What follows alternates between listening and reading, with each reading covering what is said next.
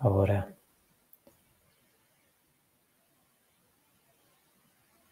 Ελπίζω να με βλέπετε. Γεια σε όλους. Καλώς ήρθατε στο Angular Athens, το πρώτο online meetup, το δέκατο στη σειρά uh, Angular Athens Meetup. Uh, το meetup θα γίνει στα αγγλικά, λόγω του καλεσμένου μας, οπότε κάνω switch. Uh, so, welcome everyone to Angular Athens online meetup. Uh, meetup. Uh, small introduction. first, uh, I hope all of you, everyone, is safe, healthy, uh, physically and um, mentally. So, uh, Manfred, the small introduction about Manfred. Manfred Steyer is a speaker, trainer, consultant, author with focus on Angular, uh, a big, uh, you know, um, a big help uh, on Angular community. So he's also um, a Google developer expert and Microsoft MVP. Manfred will uh, make a speech about domain-driven design and Angular. And uh, you can put your comments on the live feed of YouTube.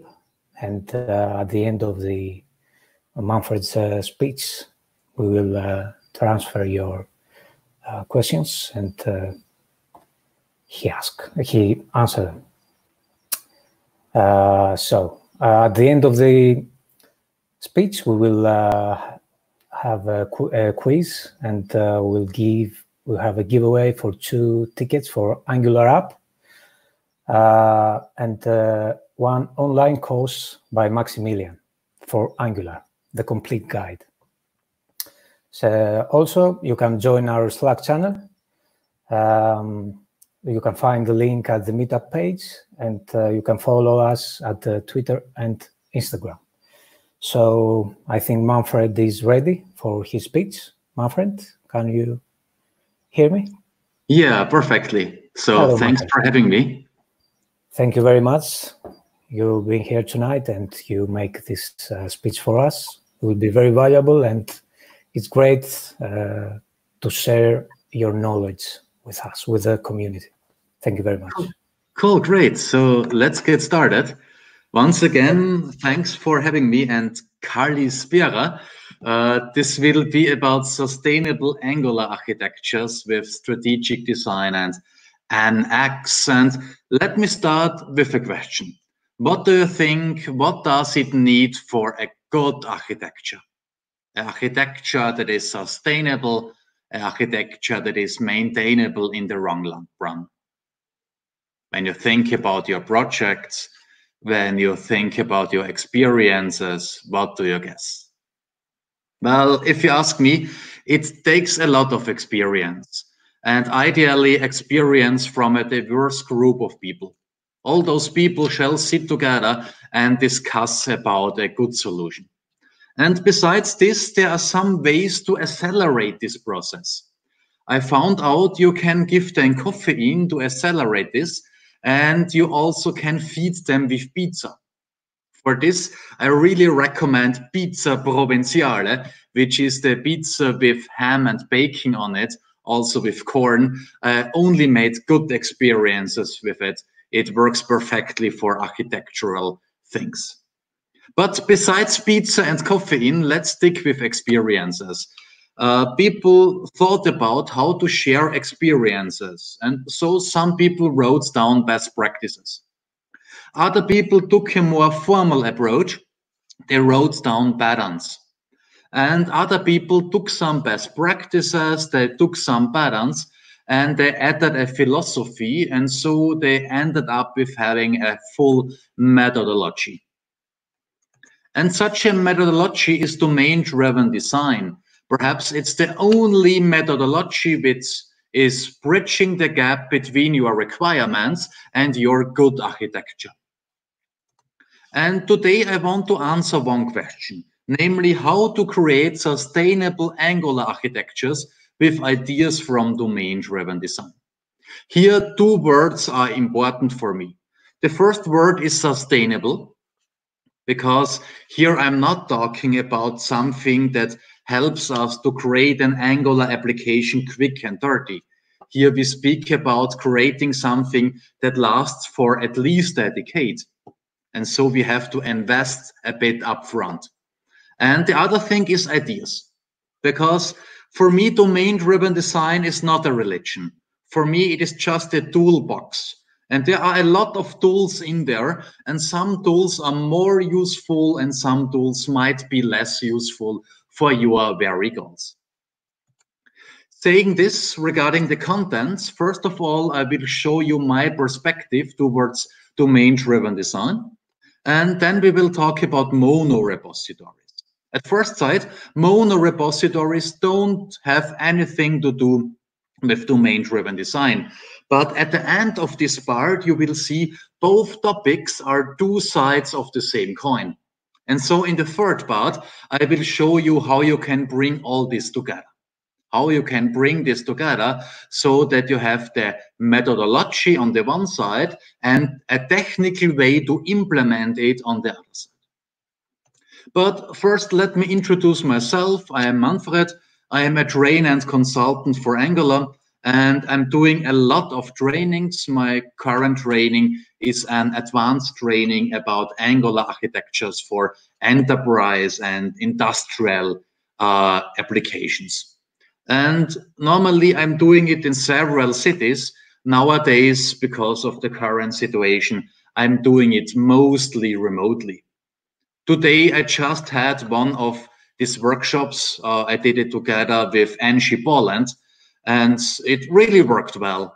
Working remotely is not that bad as you might think.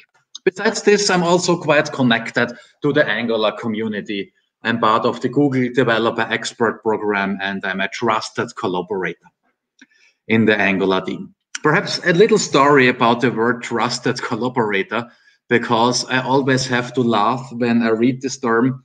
Uh, we in German have also the term collaborator, and it means exactly the same, exactly the same, but always in a negative sense. A collaborator is someone who teams up with others to destroy something. And well, if you look at my first pull request, it was about the German meaning of collaborating. Meanwhile, hopefully, I've reached the English meaning. Saying this, I am from Austria and I'm doing a lot of stuff in other countries uh, of Europe. I'm always happy if I can visit other countries. So let's get started with the first chapter, which is about domain-driven design. If you look at domain-driven design from a high-level perspective, you see at least two disciplines. There is strategic design on the one side, there is tactical design on the other side. Strategic design is mostly about decomposing a big system into tinier parts.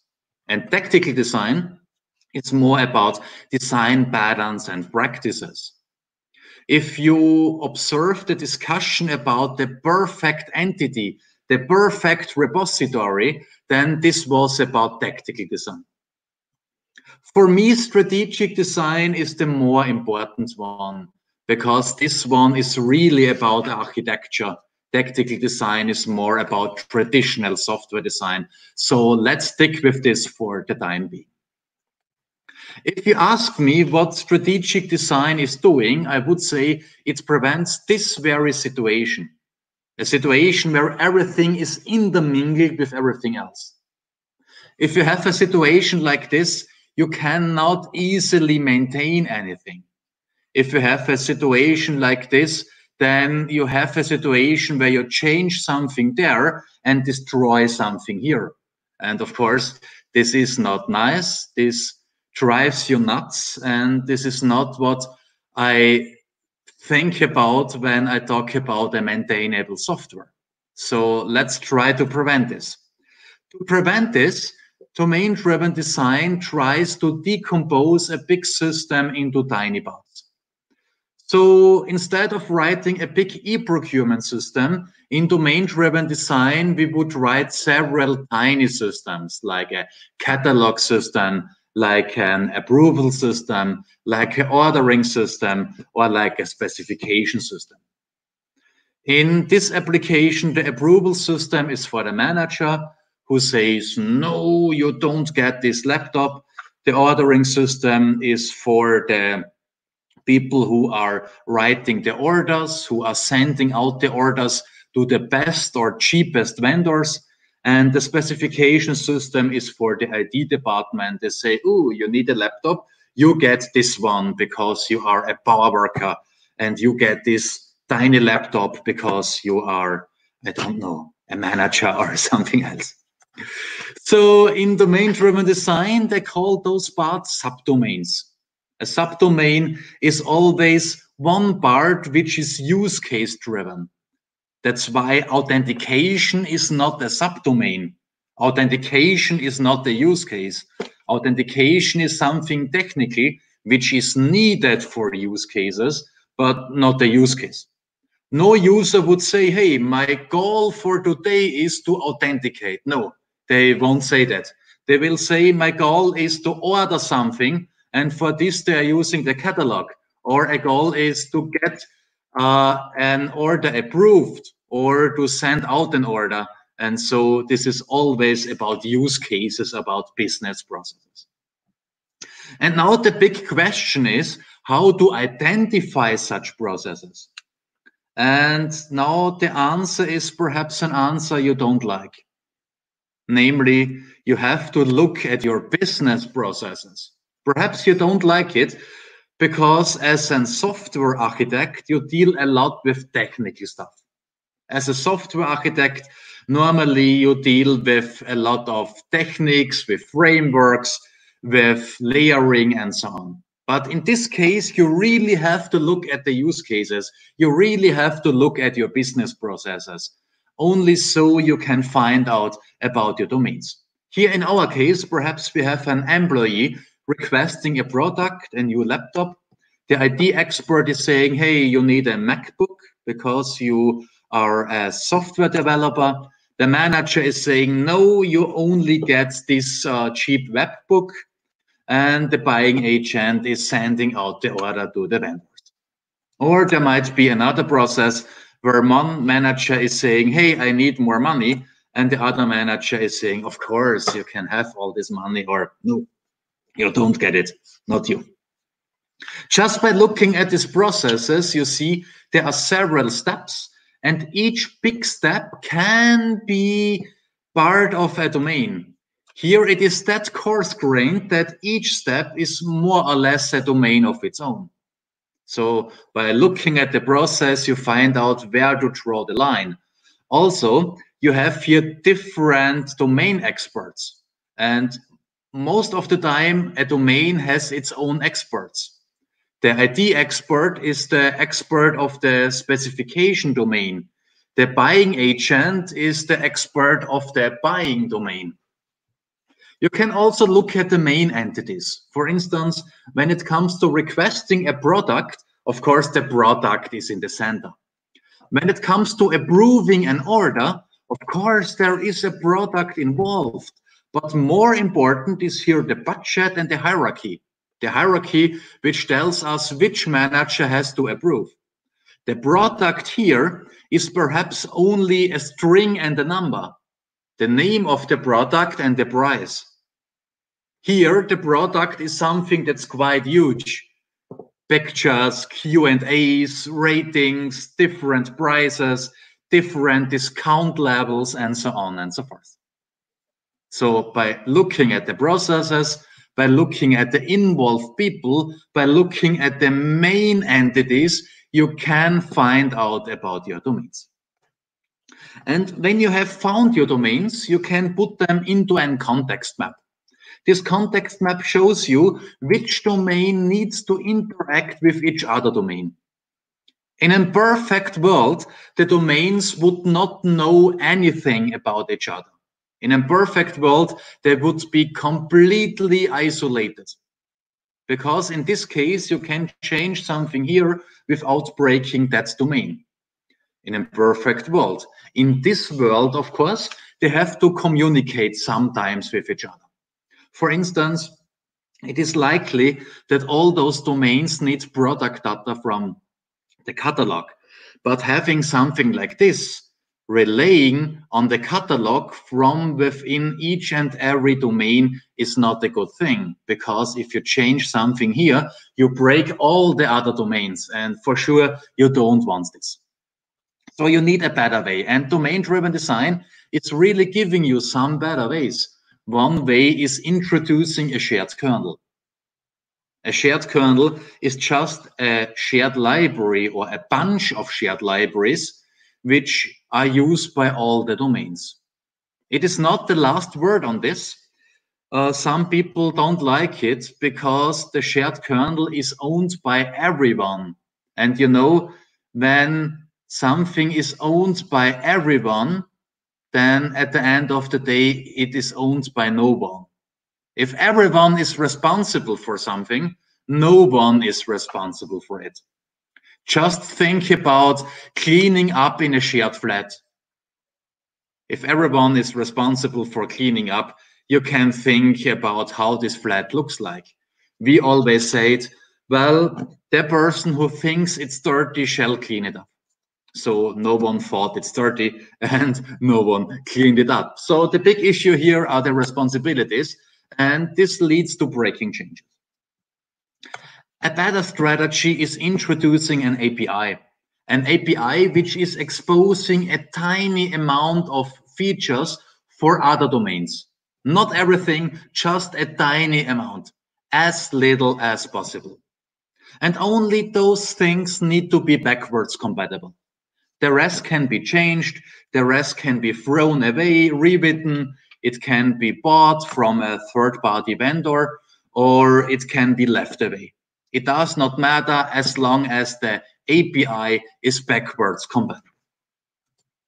In domain-driven design, they call this open or host service. I am calling it API because, you know, the term service has a different meaning in Angular and service does not fit this black box here. API does, so I'm sticking with the term API. Saying this, if you look into domain-driven design, you find a lot of additional approaches for cross-domain communication. You even find a lot of additional patterns. But for the time being, let's stick with this. This was the one side of the coin. This was our methodology, which, which is about subdividing a big application into tiny parts which know as little about each other as possible. Now let's talk about a technical topic. Let's talk about monorepos. A monorepo is at first sight just a big repository, a big folder structure holding all of your projects, or let's say all of your uh, partial projects, all of the parts that make up your project. In my case, I could have an approval library for the manager, a catalog library, an e-procurement application, and the validation library. Everything goes into this folder structure. Saying this, this is not intended for libraries that are distributed. This is intended for libraries you use to subdivide a big application into parts. And one of the best things is this node modules folder. Not that it is here, but that it is here just once. Because that means you have only one version of Angular, one version of Redux, one version of Bootstrap. Just think about having Angular 5 here and Angular 9 there. And then you try to compile everything together. I guarantee you all hell would break loose. And this is prevented by having just one node modules folder by design. This brings some advantages. There are no version conflicts. Everyone is using the same versions. Also, the latest versions of your libraries, because your libraries are co-located with the rest of the system. They are co-located in this big folder. And there is no burden with distributing libraries. If you used NPM libraries, you would have to implement a library. This involves writing the library, assigning a version number, publishing the library. Then you have to install the library into your application, integrate it, and of course, you will find out that there is a bug. You have to file the bug. You have to move over to the library, check out the library. You have to fix the bug. You have to assign a new version number. You have to publish the library, install it into your application, and sooner or later, you will just drive nuts. So as you see here, using NPM for this purpose is not the best solution. The monorepo helps you to prevent this situation. Saying this, creating a workspace is really easy. You can use the Angular CLI to new up a new workspace. And within this workspace, you can generate applications and libraries. You can serve your applications and you can build both applications as well as libraries. When you are not sure if you should go with monorepos or not, let me tell you one thing. It is not a one-way street. You can move back and forth all the time. Let's assume you have this pretty mono repository with a validation library. And now you want to share the validation library with other projects in other repositories. No one prevents you from extracting this library to an NPM registry. And so you get the best of both worlds. You have the validation library source code as part of your repository. That means it can grow and evolve alongside your application and you can share it with other project teams. This is exactly how Angular is developed. Angular is developed in a mono repository. And this makes sure that Angular core version 9 works together with Angular common and Angular forms version 9. And when they are done, they are pressing a button and the rest of us can get the libraries using NPM. If you like the idea of mono repositories, you will love NX. NX is what I'm calling the sugar dip on top of the Angular CLI. It enhances the Angular CLI. I'm always saying it teaches the CLI new tricks. This here is one trick. It allows you to visualize your project structure. This is very important for big software applications because this allows you to assure yourself that not everything is intermingled with everything else. If here everything would be connected to everything else, you would have a highly coupled solution, which is not easy to be maintained. There are some other features of NX we will look into in a second. How to create an NX workspace? Well, just use npm init. Instead of ng new, use npm init nx workspace. This downloads a script which is creating a new workspace on your machine. This workspace is a traditional CLI workspace and it has some additional features, but it's really the Angular CLI and that's why you can still use ng generate, ng serve, or ng build. Okay, now we have seen two different things, a methodology and a technical way for organizing a big application. And now let's try to bring both sides together. Let's talk about NX monorepos and strategic design. If you wanted to create a strategic design with an NX monorepo, I would start with creating folders. One folder per domain. And then I would create a shared folder for the shared kernel. After that, I would start with filling those folders with libraries.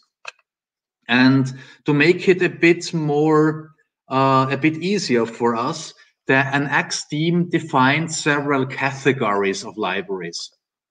From Angular's perspective, there is no difference. But from our perspective, those categories help us to see the big picture. The first category is the feature category. A feature library holds smart components. A smart component is a component which knows your use cases.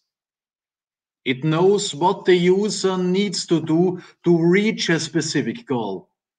And because it aligns with your use cases, it is not that much reusable. It is written for one specific case. On the other side, you have this UI layer with UI libraries, and they contain dumb components. A dumb component does not know anything about your use case. Nada, nothing, niente, nulla, nothing at all. It does not know nothing. It does not know anything. And because it does not know anything, it is really reusable. Just think about a date time picker. A date time picker knows nothing about your use case. It does not even know what kind of date it is displaying. But because of this, it is reusable. You can use it with each and every other feature which is doing something with dates. Or think about an address component, which is part of lots of business products. It is just used to make sure addresses are displayed in a common way, but it does not know about your use cases. The next layer has several names. Some people refer to it as the domain libraries. Some people refer to it as data libraries because it's also holding data structures and data access code. Some people call it the state layer because it's also responsible for state management. I call it the domain layer because it contains my domain model, which is here in the case of Angular, my client-side data model with flights, with passengers, and so on. And then there is a utility layer with utility libraries. A utility is not use case specific, and most of the time it's something technical, like converting strings to dates and vice versa, authentication or logging, something like this. The best thing about this is you can introduce access restrictions. For instance, you could define that one layer is only allowed to access layers below. In this sense, feature would allow to access the rest. Domain would only be allowed to access util. The second access restriction is the more important one for me. It's about restricting the access between domains. In this case, the catalog domain is only allowed to use catalog libraries and to use shared libraries. Ordering is only allowed to use ordering libraries and shared libraries. But ordering is not allowed to use something from within catalog. We are restricting the access to prevent that everything is highly coupled to everything else. Besides this, this architecture brings a lot of order into the system because now there are less discussions about where to put something or where to find something. If it is a feature for selecting a product, then it comes into the feature layer of the catalog domain. If it is, let's say, um, order entity, then it comes in the domain layer of ordering. So there is less discussion, and so you will find your stuff more easily. Um, besides this, um, perhaps you are saying, yeah, that looks nice. I have a clean architecture, everything has its place, and I have access restrictions, but this looks that overwhelming. That's really overwhelming all those boxes. Well, it's not that overwhelming because as you see here, it is not a full rectangle. I have grayed out some of those boxes and I have done this because most of the time we only have feature libraries and domain libraries in the real domains. And we have reusable UI libraries, you remember, dumb components, and utilities as part of the shared kernel. And so this is not a full rectangle. You don't have to create that many libraries. Now I've skipped some slides. So another thing I want to talk about is the shared kernel. I already told you the shared kernel has some downsides, namely responsibilities. If everyone is responsible for it, you know, no one is responsible. But there is another downside. Just imagine you want to share a feature component. And so you pull it into the shared kernel. But of course, if you look into this feature component, you will find out it depends upon other components. And so you also have to pull the other components into the shared kernel, also the services it depends upon. And these dependencies, of course, will have further dependencies. And so you also have to pull those dependencies in shared. And if you don't take care, you end up with having two thirds of the whole system in the shared kernel. And of course, if you have two thirds of the whole system in the shared kernel, this does not make sense anymore. Your vertical slicing does not make sense because you still have this big monolithic situation. You just moved it into shared. So please prevent this situation and you can prevent it by introducing an API. An API in that sense is just a little library, a very small library, which is just exposing specific stuff from one domain for other domains. For instance, it might expose the product service for the ordering domain. And so an ordering feature can make use of it. The big thing here is, and the important thing is, only what gets exported via this API needs to stay backwards compatible. The rest can change without breaking other domains. You see, it's always about changing something without breaking other domains. I've talked about this. Let me just tell you one thing about the domain. Uh, the theory tells us to isolate the domain. And that means we will put something in front of the domain and something behind it. In the middle, our domain model will uh, stick. And these are our entities together with some general purpose business logic. For instance, domain specific validation logic or some tiny calculations you need to do on the client side. Of course, the majority of uh, business logic will be on the server side, but sometimes you need business logic in the client just to improve the usability, just to calculate something immediately or to validate something immediately. This is here. If you don't like the term entity, you can also call it a client-side data model or a client-side model. For me, the term entity is okay even though it's highly used in the backend, because for me, a modern single page application is more than the receiver of data transfer objects.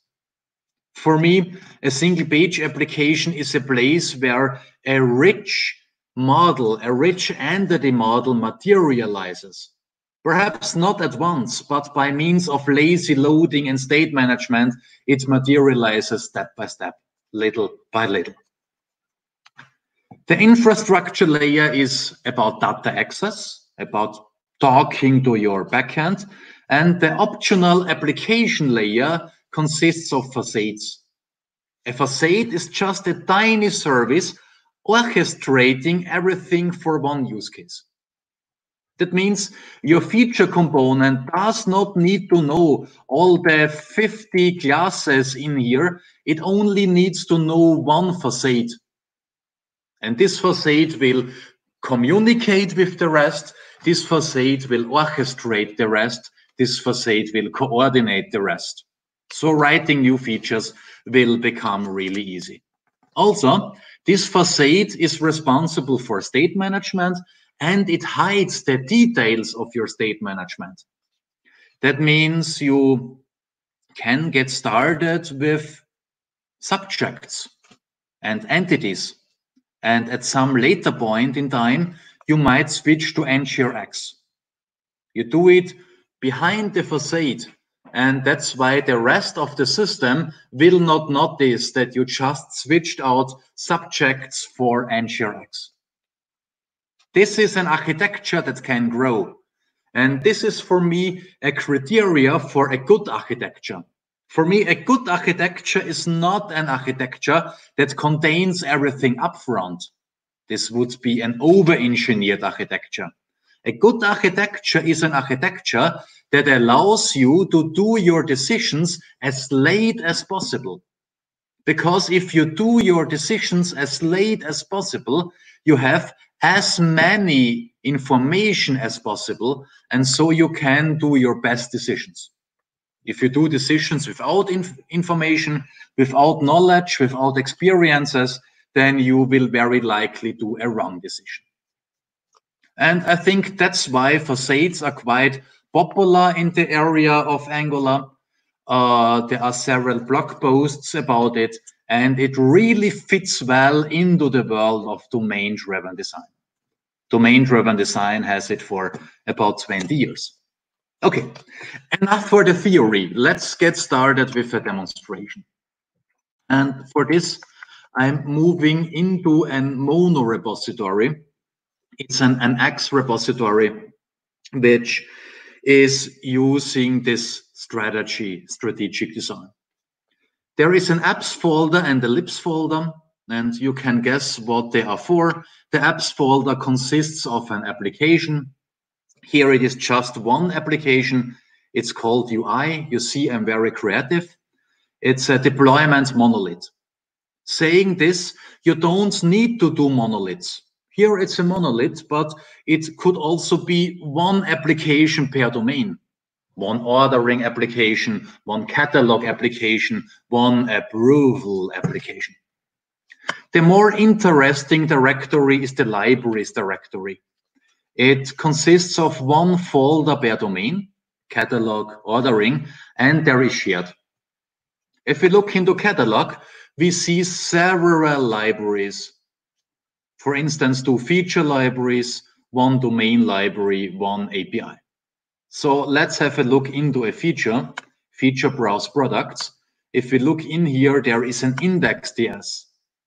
Some people also call it public API because this is what it is. It is the public, the public API of your library. That means everything you are exporting here can be used by other libraries in your domain. And so what you export here should be backwards compatible somehow. Everything you don't export here don't need to be backwards compatible. It won't break other libraries. This is an important aspect of a stable architecture.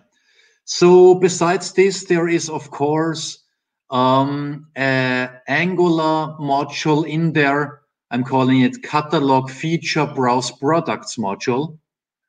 And of course, it needs my domain module. Here it is, catalog domain module. I need to import it because I need its services. And one of the nicest things here is you can use nice names you don't have to go with dot dot slash dot dot slash dot dot slash dot dot. I guess you know this situation. No, you don't need it. Instead, you can go with nice names. Those names look like the names of NPM packages, but honestly, they are just map names. NX is mapping those names within your tsconfig JSON. Here you have a mapping for all your libraries. So you can go with a short, meaningful name, which is quite nice. It also allows you to change something if you want to compile a special version of your application, a special version for customer A. Okay. Well, besides this, it's a traditional Angular project. Besides splitting it into domains, and libraries. And now let's use one of the features of NX. For this, let's run the script dep graph. This is baked into NX. Oh, okay. I have already a web server running. It starts a web server, so let me close all my windows. Now it takes some time And here we are. We see our beautiful architecture. There is an end-to-end -end testing application. Well, we are not that interested into it, but here the interesting stuff begins. We have our UI application and it is using several uh, libraries from different domains. Now let's copy this out. Let's do a screenshot and copy it into OneNote. I've already prepared a very secret sheet here. And yeah, let's go to full screen mode. Let's zoom in a little bit more. Okay. Yeah, looks almost good. Yeah. Okay. And now we can paint a bit. That's the funniest part of this presentation. Let me paint. If you look here and you have the domain logic from ordering, or if you look there, you see a feature from the catalog domain or another feature from the catalog domain. Oi, that was clumsy.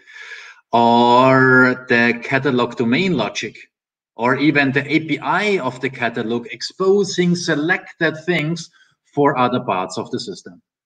Or if we look a bit further, we see one library from the shared kernel and another library from the shared kernel.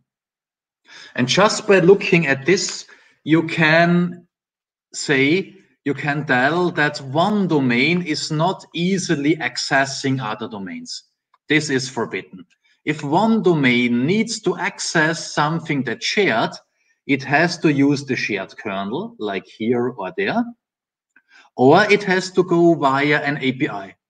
Everything else is forbidden. In all the other cases, the domain is only allowed to talk to itself. And so we are really implementing strategic design where a change here cannot easily destroy something there. But now let's try something evil. Let me be the evil guy once in a time. I really like this. Let me break our architecture by accessing the UI layer from within the utility layer. If you remember my layering, this is strictly forbidden according my rules.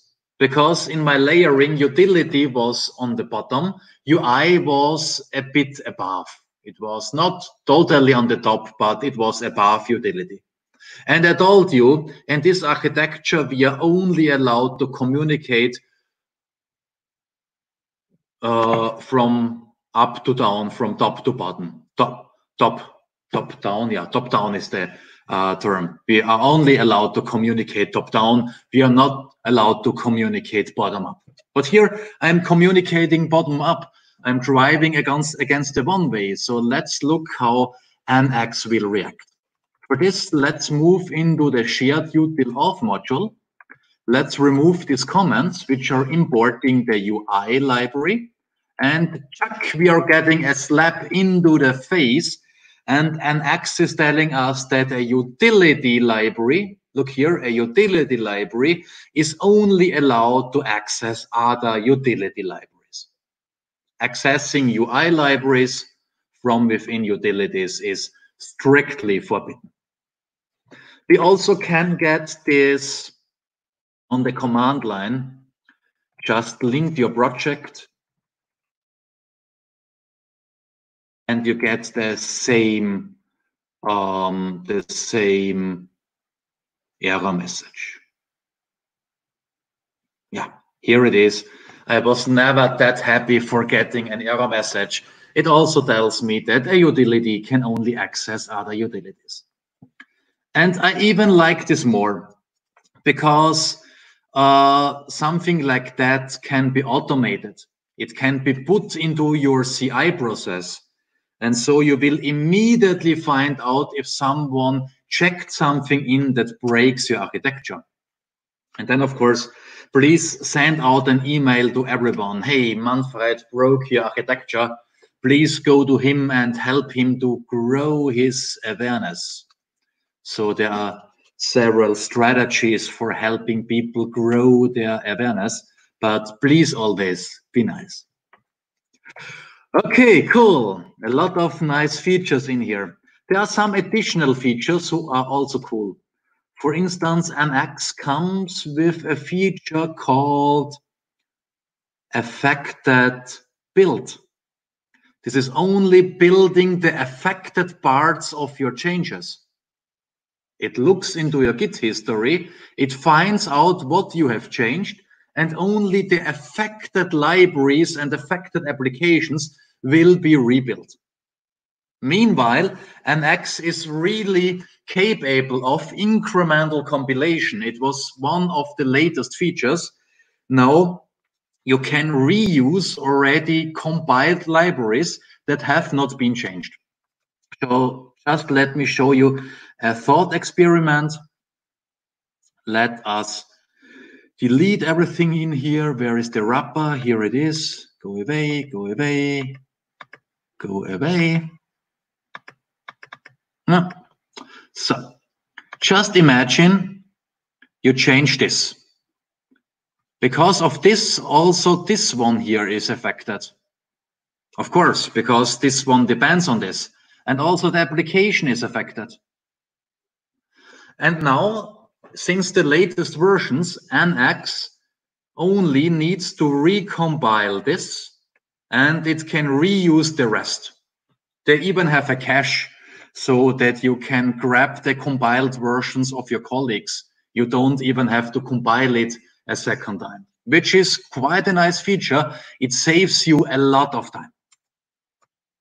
Affected build. Affected test is just executing the unit tests of the affected libraries and affected end-to-end, -end, yeah, guess three times.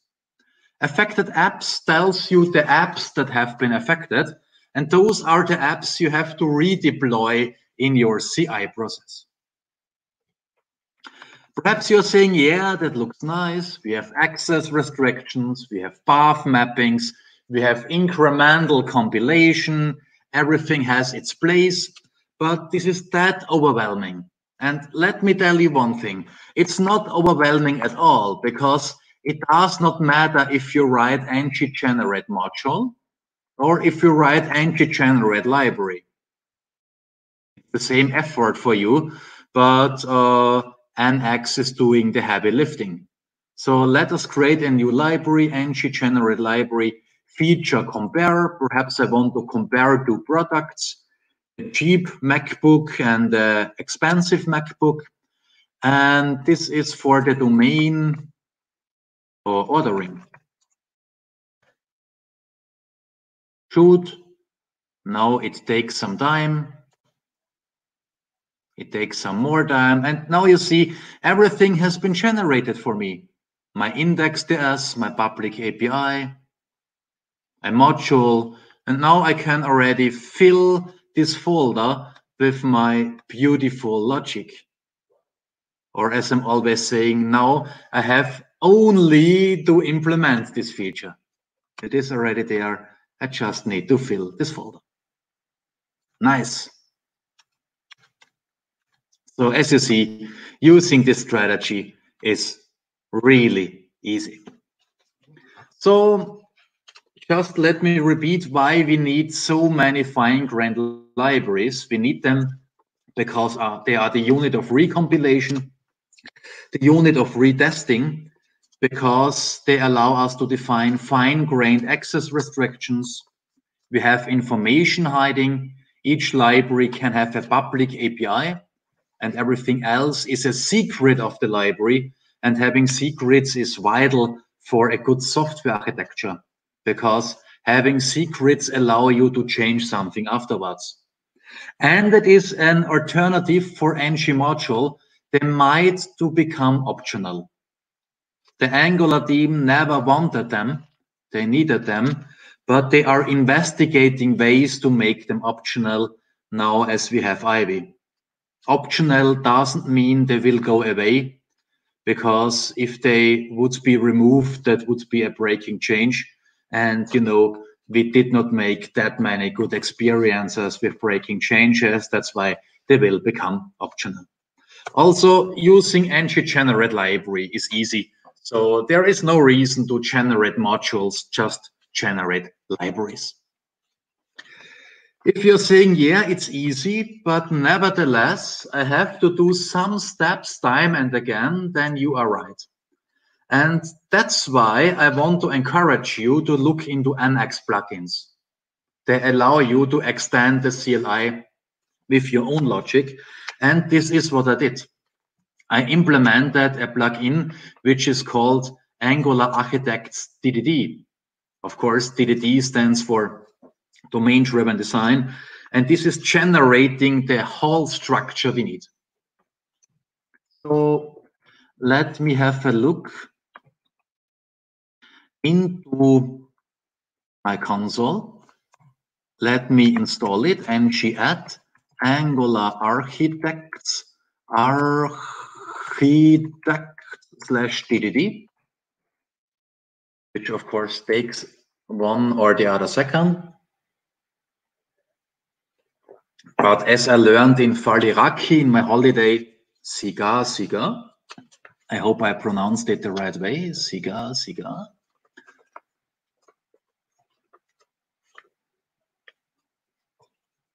I'm a really patient person. Come on, come on. Speed up, yeah. And now, after installing it, I don't have the best connection. I'm sitting here on the countryside. I can say, hey, please create a new domain.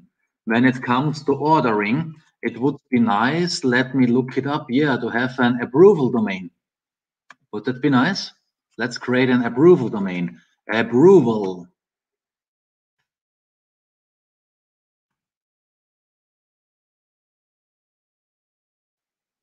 Okay, and this is generating the domain layer for us. This is also configuring everything so that my access restrictions will be honored. You need to configure two files to get those access restrictions I have presented before. Then I can say, now let's create a feature within the approval um, domain. Let's call it check requests. And it's part of the domain approval. The entity for it is called request, and it's part of the app UI. This is my monolithic application. I could even create an own application for it, but for the time being, let's go with the monolithic one. Okay.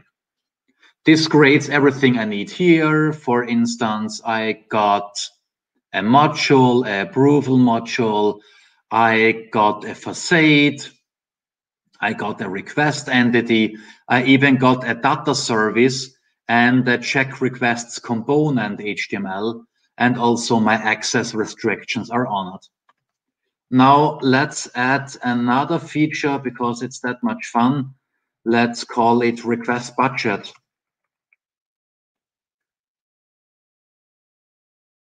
The domain is approval, the request is a budget request.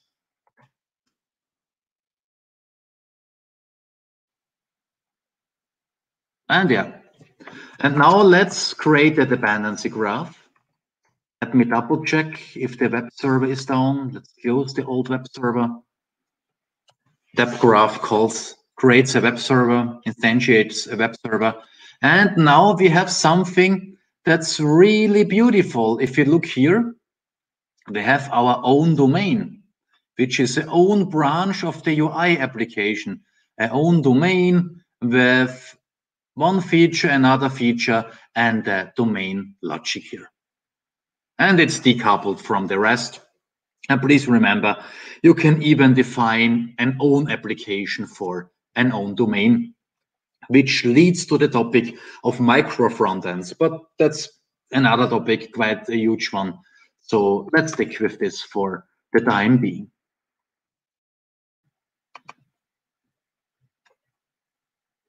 Okay, so the approval feature check library is also creating a dummy component, a dummy component which is proving that everything is wired up correctly. We could call this dummy component, but no, let's let's keep it. I think you can imagine how difficult it is to call a component. Let me just show it to you slightly. Let's move to my home component. No, no home component. To my app component. And here I could call a component which is called feature check, I guess, or approval check. Approval check request. So as you see here, I'm getting even the suggestions for it that proves that everything is already wired up, which is kind of nice, isn't it? Oh, let's let's start it. I think we have the time. That's the nice things at Meetup. We have a plenty of time and we can start.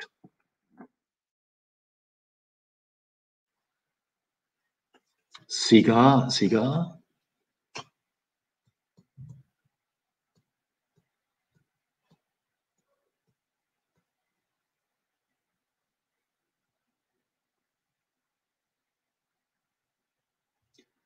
Normally, this is a good time to tell some jokes.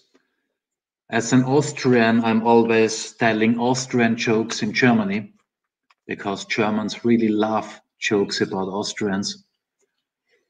And because I'm Austrian, it's okay, I guess.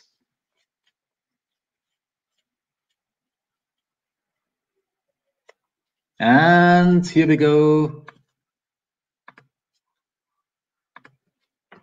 localhost 4,200. And yeah, it is hidden here. This is my generated component, which proves that everything works end to end across all my layers. Okay, let's take this out. Nice. So um, if you like this demonstration and if you like this topic, perhaps you will also like my free ebook. It's about the topics I've talked about today, but it's also about further topics like micro frontends, which would be the next step here in such an architecture, or which could be the next step if it is beneficial for your needs. So check it out. You can download it on my blog, angulararchitect.io slash book. Okay, let me sum up. What did we see today? We have seen that slicing everything into subdomains is beneficial because it allows us to decouple the parts of our software system. The same holds true for layers, feature, UI, domain, and so on. We have seen that fine-grained libraries help a lot. They are the unit of recompilation, and they allow us to define access restrictions. Also, we can automate repetitive steps so that we don't need to do the same things time and again. And there is a last thing I always want you to remember. If you forget about everything, please always remember this one little tiny aspect, namely, you can accelerate a software architecture process by feeding them with caffeine and pizza. And, you know, I really recommend Pizza Provenziale, which is the pizza with corn, ham, and bacon on it. I only made good experiences with it. So thanks for this. Here you have my contact data. You will find all my material in my blog. And if you like, follow me on Twitter so that we can stay a bit in contact. Thank you and Evharisto. I hope that was pronounced in the right way and I did not insult anyone. Evharisto. Thank you. Thank you, Manfred. Very interesting speech uh, and uh, architectural perspective. Thank you very much for the talk and uh, you have having you to, tonight. Uh, yeah, now we will switch with uh, Aris to for a Q&A. Aris, are you ready? Yes. Can you hear me? Yeah.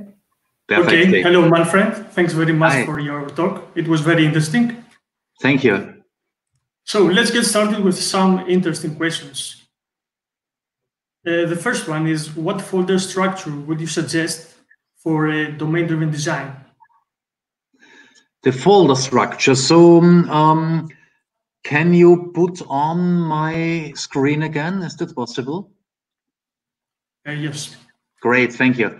So first of all, I'm using this folder structure with libraries. I have per domain, per subdomain, a subfolder, and here I have per library another subfolder. And libraries from within the same layer have the same prefix so that I see them next to each other. That's the first point. Then within the feature, I would uh, manage everything according to use cases according functional things like this use case, that use case. That is not possible within the domain layer. Here I have another uh, structure, and this structure really fits well into the world of domain-driven design. There is an infrastructure layer which has all the data services. Data services which would normally communicate with the backend using HTTP. Here I have some sample code in here. It is generated. The entities folder contains my domain model, my request entity, and some logic that operates upon it. If I have domain logic, like validation logic, like let's say validate request, chat request. Let's type it. I have to have that much time. It's always false. So optimistic. And the application layer contains my facades. There is one facade per, uh, per use case. And this facade is orchestrating everything. That means the component only needs to know the facade. And one of the nice things of the facade is it can hide state management. For the time being, it uses a behavior subject, but I could easily exchange it by a store doing something like, you know, this dot store dot fetch this, fetch that, and the rest of the system will not ever recognize. So this allows me to introduce the ngrx store just on demand. Yeah, this is the structure I use within and domain library. And as mentioned, it really fits well to the ideas of domain-driven design. And it also fits to best practices because using facades is one best practice in Angular. Saying this, they are optional. If you really love NGRX and if you know you will always use NGRX, then NGRX can be your facade. Otherwise, go with this. Right. Thanks very much. Uh, let's get another one. Would you suggest to have a dedicated team work in its domain in the domain-driven design, or uh, is this going to become too narrow-sighted at some point in the future? I'm not totally sure if I got what you mean. Okay. Uh, if uh, would you suggest to have one team on each domain ah, yeah. working? Now, now I understand. Um, it's not a prerequisite but if you have several teams, I would split them uh, according the domain borders. This is the recommended approach.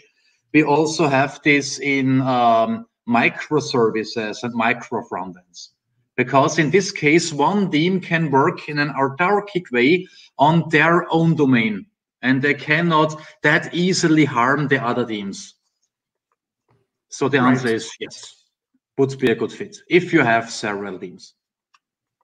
So, uh, uh, what do you think is the preferred size for a smaller domain that you can divide your application into? I mean, how far, how how low can you can go? Yeah, this domain-driven design. Yeah, good question. I think there is not a definitive number. It's not a law of nature. But if I think on my projects, one domain has up to 30 entities plus minus. So perhaps that's that's a rule of thumb. But I have another rule of thumb. It has to be big enough so that the use cases fits into one domain. Because if one use case is overlapping the boundaries of different domains, it's really difficult. Then everything is intermingled. Let's say I want to do one thing. I'm under pressure. and they have jumped from one domain to the other domain. Everything is intermingled and it's not a good user experience. So most of the user journeys should fit into one domain. And of course, ideally, it should not be too big because ideally, it should be little enough, small enough that one team can work on it. Okay. Uh, what can we put in the libs folder uh, of the NX workspace except services? Uh, I think I noticed that uh, you had also some smart and dumb components inside there. Is this correct? Yeah, that's correct. So a feature contains uh, components. That means I would put all the components in there I need for a specific use case. Okay. Also, of course, uh, services, as you mentioned, also pipes. At the end of the day, everything I need for a use case that means the application itself is just an envelope, an envelope which is wrapping all the features. Right. Okay, next question. We have a lot of questions for you to, tonight. I have a plenty of time. okay. Do we need to configure a linter ourselves to check access between applications and libraries, or does NX do it automatically based on the repository structure. Yeah, you have to configure the linter, that's true, but it's not that difficult. So you need to assign categories to your libraries, which are just strings. And then you can use those strings, those categories to introduce access restrictions. You can say a category or a library in the category feature is allowed to access everything. And a library in the category utility is only allowed to access other utilities. Right. Uh, would you suggest a monorepo architecture when you develop a, a, web application that is going to be an actual SDK application for another developer? Ah, yeah, good question. So yes and no. I think I would start I mean, there, there are two flavors to this. One flavor is to have one monorepo for all your SDK libraries. Perhaps your library, your SDK is split among several libraries. And in this case, a monorepo can come in handy. Another flavor is where you have your first product that is using the SDK. And it can be beneficial to put the SDK for some time into the same mono repository. because in this case, the SDK can be tested and can evaluate, can be evaluated against your application. But that just works at the beginning. And also this application will drive the, the majority of your, the majority of your SDK. Because it's always bad if you are uh, flying without seeing anything. That happens if you develop an SDK in isolation. But of course, sometimes later you need an own mono repository for this SDK, which could be a design library. In many cases, I've seen people writing design systems, implementing design systems nowadays. So to put it in a nutshell, to get started, yes, you can co-locate it, but later I would split it out to a library of its own. Right. So, is it conceivable that we can employ a message bus or a message broker to set up communication between different domains in the front end? Yeah, that's a good idea because domains shall be loosely coupled to each other. And um, the loosest form of communication is message passing. Just um, raising an event an event that says, hey, a customer was selected, or hey, your product has been approved. And then the other domains can act upon it or not. So that's the best form to communicate between the boundaries of your domains. And for getting started, you can use an observable or a subject for this. Right. So two more questions.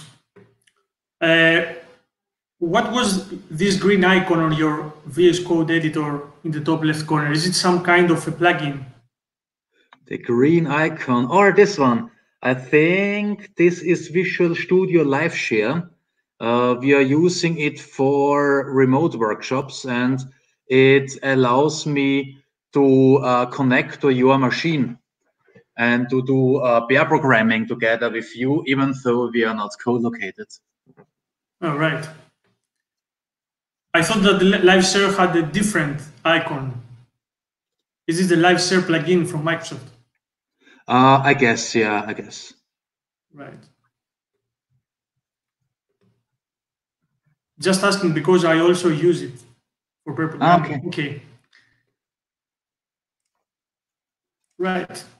Uh, what are uh, pros and what are advantages and disadvantages when putting facades inside the store or outside?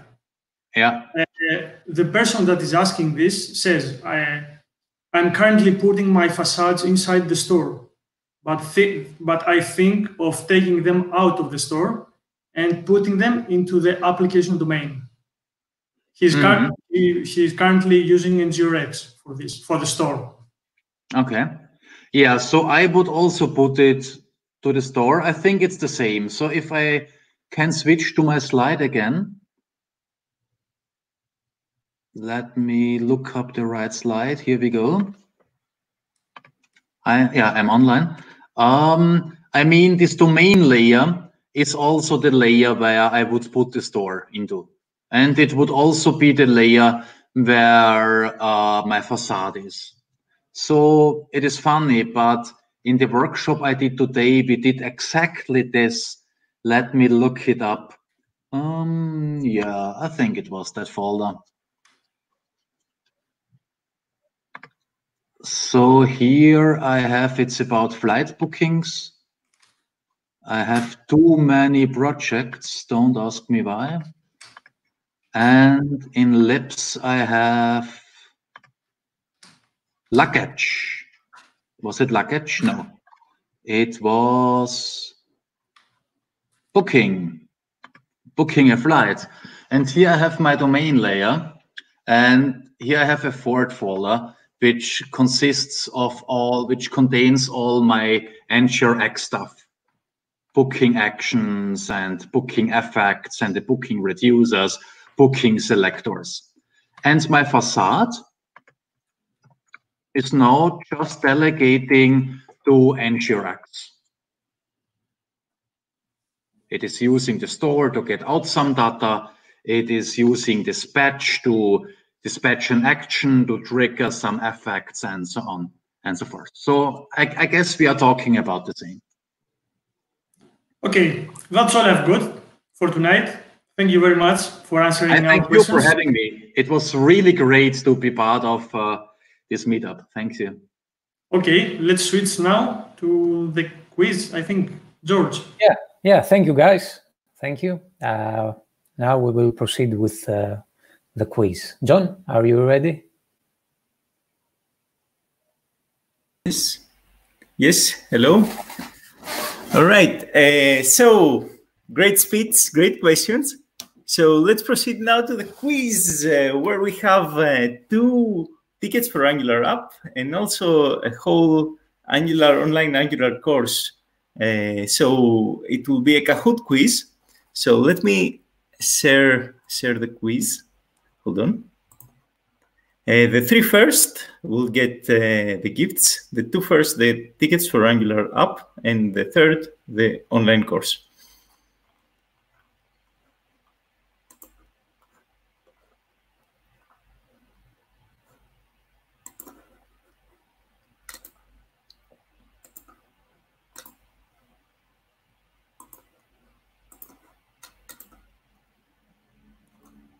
Okay, I hope it's uh, visible to everyone.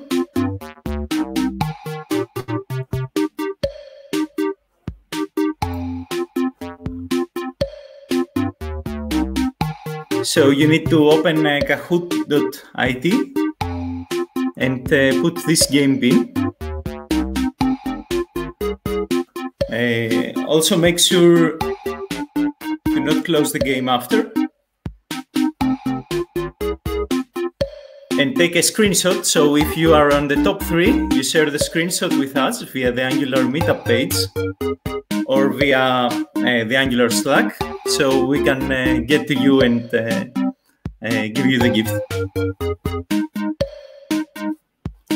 Of course, the questions of the questions were provided by Manfred, so thank you as well for providing the questions. Right, we are already in 23. Let's wait a bit more.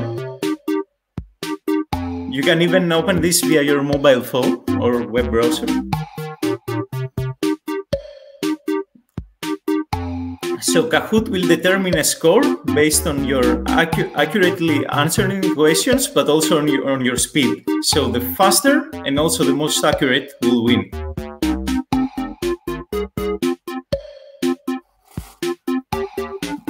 Each question has a time limit around 60 seconds.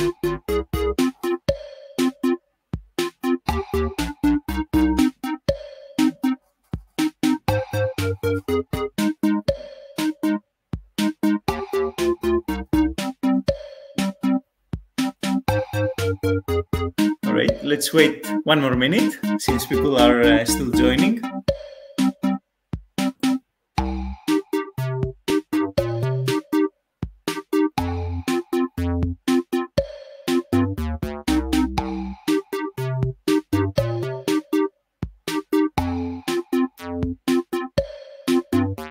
Don't overthink your nickname or else you're not gonna make it in time.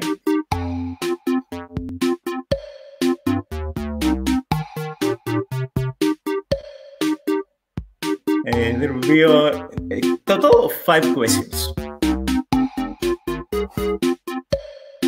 Okay, 33 players. Let's wait a bit more, 34, 35.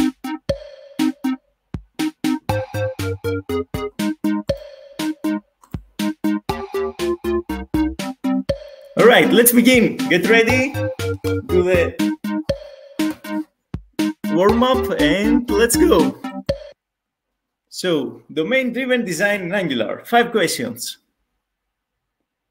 Question number one, what's a goal of strategic design? Is it subdividing a system into subdomains? Is it applying as many design patterns as possible? Is it setting up a monorepo? Or is it applying patterns like facades? Press the correct color in the app.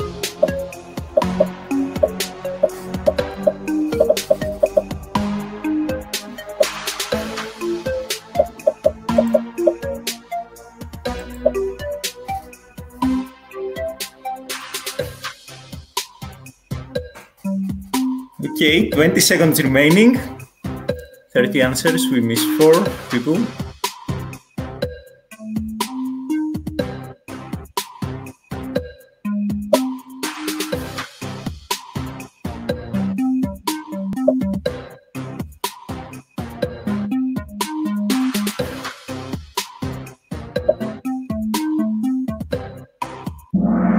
All right, correct answer is subdividing a system into subdomains.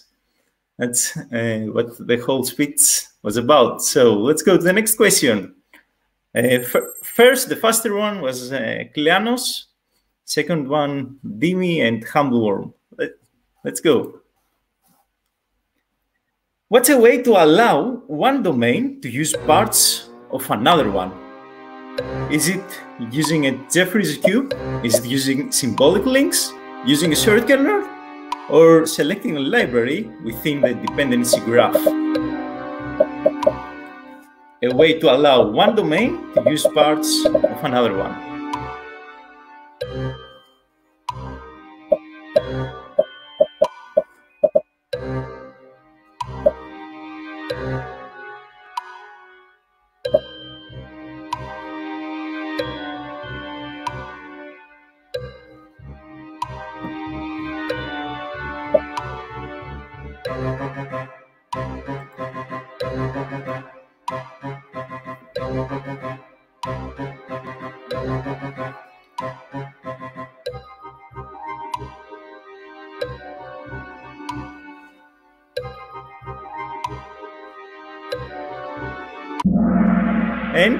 It is using a shared kernel. The shared kernel is the way of uh, that one domain can use the parts of the other domain. So let's see the score. Can Hamworm has taken the lead. Must Darius and Tassos in the third place and second place. All right, let's go. Next question. What are some advantages of using NX with fine-grained libraries? They allow to benefit, they allow us to benefit from a known ng module and entry components. They allow one fine-grained module per domain and one component, which is the lonely component pattern. We save space in the disk and make it easier to defragment, or they allow to access restrictions and incremental retesting.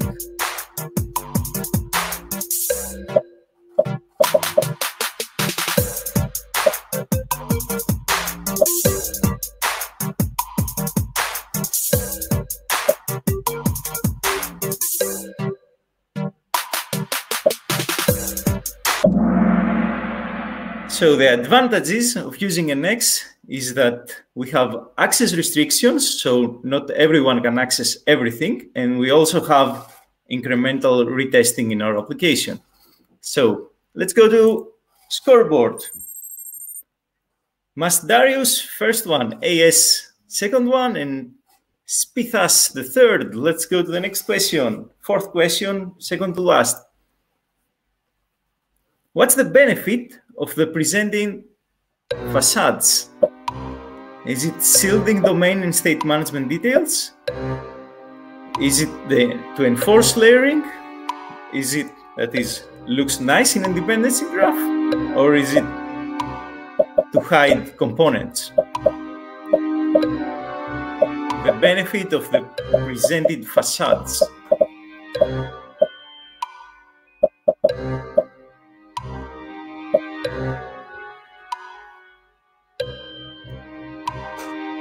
So much suspense. Let's see.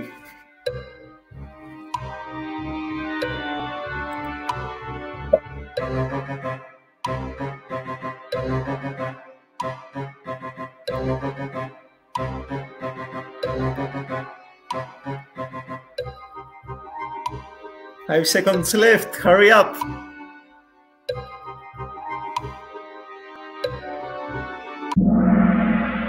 Benefit of the presented facades is to is shielding your domain and state management details. So let's go and see the scoreboard. Masdarius is the first one, Spithas second one, Rock and Rolla is the third. All right, let's go to the last question, five out of five. What's an advantage of a monorepo? It helps with escaping Rura Penthe. It allows performance optimizations at runtime. It prevents the need for versioning, publishing, and installing libraries, or it's the basis for a positronic brain. What is the advantage of a monorepo?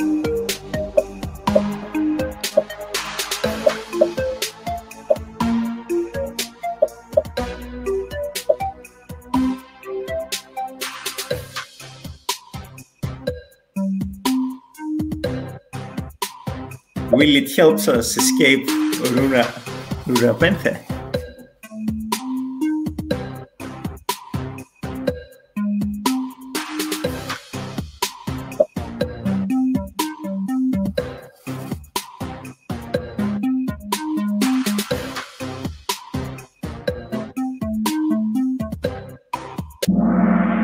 And the answer is that it prevents the need for versioning publishing and installing libraries. So it makes, in essence, development a lot more linear and faster.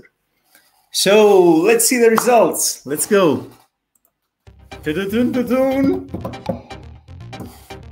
Third one was Double T. Second one was Rock and Rolla. And the winner is Mas Darius. Congratulations. Very nice runner-ups was SD, and Leon. So uh, send us a message uh, in the either via the meetup page in the Angular Athens meetup or in the Angular Athens Slack, and uh, with a screenshot uh, of your screen right now, which you are one of the three winners, and we'll get back to you about the gifts. Thank you so much for participating and uh, being here. All right, and uh, George, you can take it back. Yeah, John, thank you. Congrats uh, for the winners. And uh, yeah, we'll proceed also with John. Uh, have a small surprise for us, John. Uh, so yeah. yeah. so proceeding, I will uh, also show a small video uh, about the Angularians. Angularians is a is an effort made by uh, Fanis and Aris to Angular Athens coordinators. So let me present the video.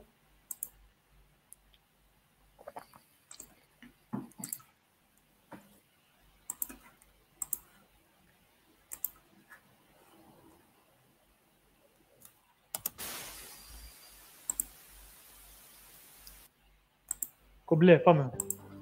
Γεια σε όλους. Είμαστε Angularians. Ο Άρης και ο Φάνης. Ή ο Φάνης Κράτης. Είμαστε core members του Angular Athens Meetup και μαζί δημιουργήσαμε τους Angularians. Είμαστε μία ΑΕ. Πλάκα κάνω. Με τον Φάνη γενικά τα λέμε για την Angular. Ανταλλάζουμε απόψεις του στυλ, τι library χρησιμοποιεί ο καθένας, ποια τεχνική μας δυσκόλεψε όταν πήγαμε να την εφαρμόσουμε. Ακόμα και κάτι καινούργιο που ενδεχομένως να είδαμε σε κάποιο event ή σε κάποιο online webinar. Οπότε λόγω του lockdown επικοινωνούσαμε περισσότερο από απόσταση και κουβεντιάζαμε αυτό που αγαπάμε, την Angular. Και εκεί ήρθε η ιδέα των Angularians.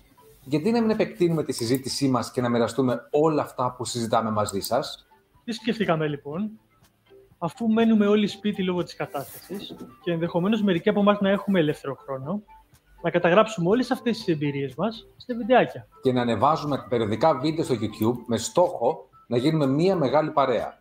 Θα ανεβάσουμε το πρώτο μας βίντεο σύντομα και μην ξεχνάτε να γράφετε τα σχόλιά σας. Πού θα το ανακοινώσουμε; Στο Slack channel του Angular Athens Meetup. Γεια σας!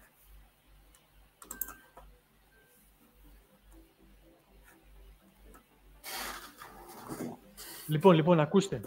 Κανονικά θα με σκοτώσει ο Φάνης που σας το λέω, αλλά στο πρώτο μας επεισόδιο θα περιγράψουμε τις εμπειρίες μας από το πρώτο online ngconf hardware.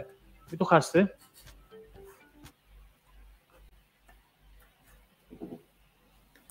Right. Such a nice, uh, such a nice initiative by Fanis and Aris. And uh, I guess, Yorgos, you can take it from here. Yeah. So all the teams here. Katerina, Aris, Lena, where are you?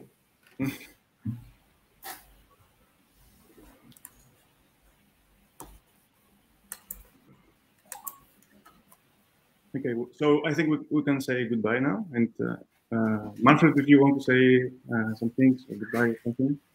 Yeah, just one more time, thank you. It was really nice. And I hope I can visit you next time uh, directly in Athens when this corona crisis is over. And yeah, have a nice day and all the best. Thank you. You too. Thank you. Thank you, Manfred. Thank you. So bye all guys.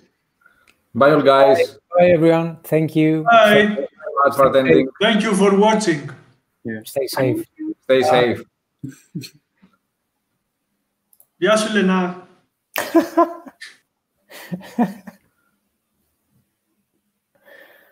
Boom.